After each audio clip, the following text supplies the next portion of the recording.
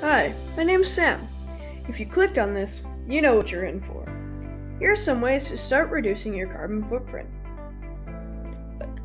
So perhaps one of the easiest ways is to avoid using plastic, whether that be plastic bags, excess plastic packaging, or plastic water bottles.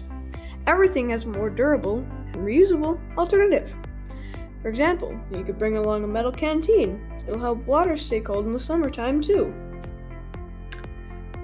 Always try to combine errands, even if it means you have to bring along more people during a trip. If not to help lower your carbon footprint, but to save time too. Tell your parents. That reminds me, carpooling is a good option if you and an acquaintance are heading the same place. You may already do this, but make sure to drive everywhere within a state or two's radius. Commercial flying, even with all the people on the plane, emits more carbon in an hour than a car emits in a day. Stay grounded. That brings us to our fourth tip. Tell your parents to turn on eco and use cruise control when driving on a highway. This is available on most modern cars. Do you take long showers? If you install a low flow shower head, an hour with that would be the same as 5 minutes with a normal shower head.